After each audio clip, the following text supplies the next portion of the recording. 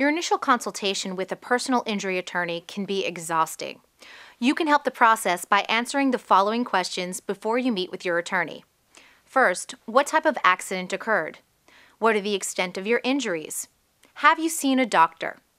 If so, bring along a copy of your medical files and bills. Have you already filed any claims? Have you filed a police report? Were there any witnesses to the injuries? If so, do you have their contact information? Do you have insurance that covers you for the types of injuries you sustained? You may not yet know, but are you aware of whether any other involved parties have insurance that covers this type of accident? Answering these questions may result in embarrassing admissions, but don't worry. Anything you tell your attorney is confidential, so make sure you disclose all matters even remotely related to your case.